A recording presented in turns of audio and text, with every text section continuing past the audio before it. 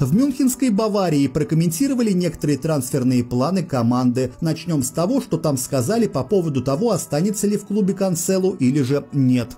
Канцелу великолепный игрок, видеть его выступление отрада для глаз. Мы рады, что он в нашей команде. Пока что мы ничего не решили. Подумаем об этом по окончании сезона, сказал спортивный директор Баварии Хасан Салихамиджич. Другими словами, он не останется. Лично мы почти в этом уверены. Бавария уже до этого проворачивала что-то подобное с Каутинью и Хамесом. Ну, в смысле, брала в аренду таких дорогих футболистов, прописывала в их договорах какие-то большие отступные, а потом благополучно возвращала назад назад. Для тех, кто не в курсе, клаусула, которая стоит у Канцелу в контракте, составляет 70 миллионов евро. И мы слабо верим, а точнее не верим совсем, что Бавария заплатит за него такие деньги. Также много разговоров на тему того, что не побоимся назвать его сердцем Баварии. Томас Мюллер выступает за свой клуб последний сезон. Вот что на эту тему сказал сам футболист.